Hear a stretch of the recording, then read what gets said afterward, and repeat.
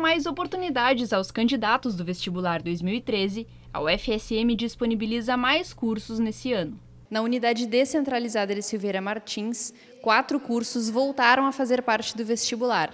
Antes, o ingresso era realizado pelo Sistema de Seleção Unificada, o SISU.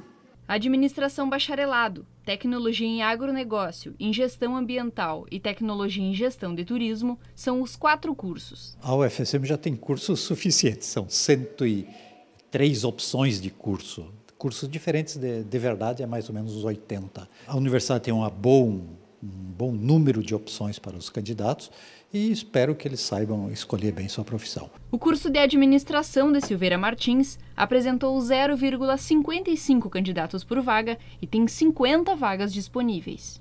Tecnologia em agronegócio tem duração de seis semestres. Quem opta por este curso, que tem 0,06 candidatos por vaga, trabalha com a organização de micro e pequenas empresas de produtos naturais. O tecnólogo em gestão ambiental atua na conciliação da sociedade com o uso racional dos recursos naturais. O curso tem 0,19 candidatos por vaga.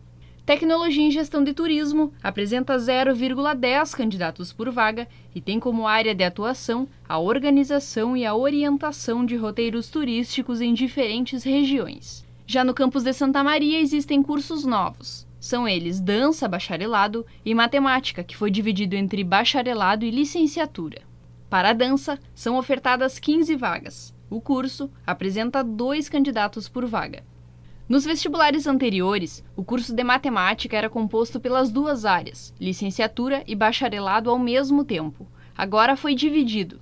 Licenciatura tem 1,44 e bacharelado 1,08 candidatos por vaga curso de matemática tinha 50 vagas, o aluno entrava e depois ele optava. Por questões, acho, práticas do curso de matemática, eles resolveram transformar esse um curso em dois cursos, de bacharelado com 20 vagas e licenciatura com 30 vagas. Todas as relações que foram apresentadas pertencem ao sistema universal do vestibular da UFSM. Para saber mais sobre o curso que você escolheu em outra cota, é só acessar coperves.ufsm.br.